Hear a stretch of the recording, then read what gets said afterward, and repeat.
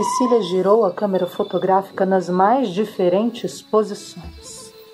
Avistou João Pedro, ao longe, fazendo gestos com as mãos para que ela retornasse.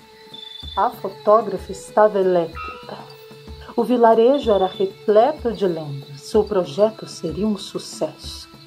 A equipe alugara aquele casebre e os serviços de cozinheira da senhora Faiola o grupo saiu assim que o sol apontou no céu. A equipe percorreu as longas estradas áridas na picape. Assim que sentiram o sol baixar, Cecília e João Pedro deram-se por satisfeitos com a produção do dia. Naquela noite, todos reuniram-se em torno da fogueira, no centro da vila. Uma história que deixou Cecília bastante impressionada foi a dos espíritos que habitam as árvores baobás. O chefe Zaki contou a lenda da grande cobra Fiton, que vivia dentro de uma baobá e garantia boas colheitas. As pessoas eram felizes na tribo até que um caçador matou matou a serpente. Segundo Zaque, até hoje o sibilar da cobra pode ser ouvido entre as árvores. Cecília decidiu que iria fotografar as árvores milenares. Combinou com a equipe que seguiriam para o lugar dali a dois dias. A equipe saiu bem de manhãzinha seguiram para a floresta orientados por um homem que conhecia bem a região.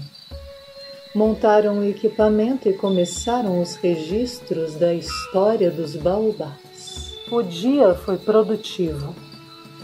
A noite desceu.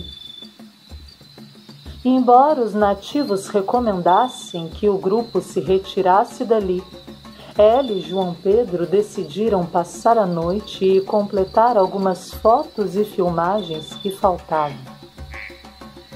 O guia se recusou a permanecer com os dois.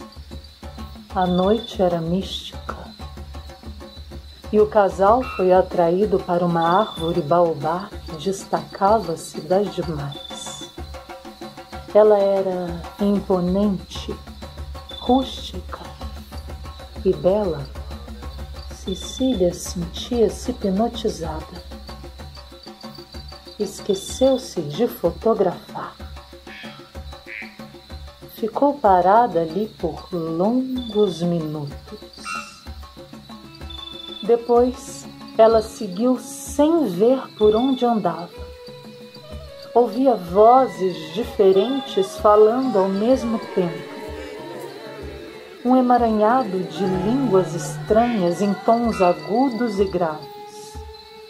Chegando perto da árvore, estendeu as mãos sobre o caule, sentindo uma textura macia e aconchegante. João Pedro veio correndo e chamando a colega.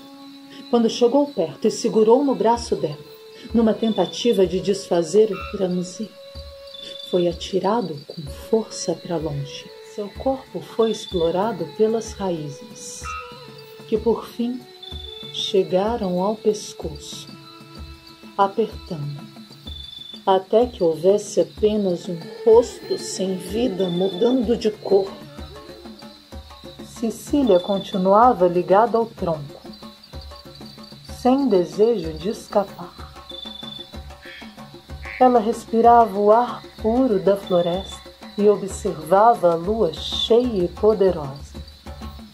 O baobá abriu-se e Cecília foi depositada em seu interior, ao lado de tantas outras garotas que sorriram ao recebê-la. A árvore de novo fechou-se e as raízes foram recolhidas. Tudo parecia imerso na normalidade, com exceção do corpo de João Pedro. desfalecido no chão poeirento. Pela manhã, procuraram Cecília em todos os campos e chegaram à conclusão de que ela havia matado João Pedro e fugido. Os nativos olhavam-se de forma estranha. Ela não era a primeira garota que havia desaparecido naquele lugar. A cozinheira, Faiola, não estranhou quando o grupo retornou à vila sem João Pedro e Cecília. Lançou sobre eles o mesmo olhar triste de quando partiram em direção à floresta. Naquele dia choveu. Lágrimas das donzelas raptadas.